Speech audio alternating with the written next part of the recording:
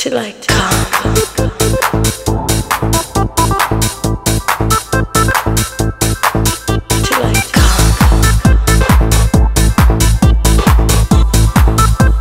Change it and say till I come.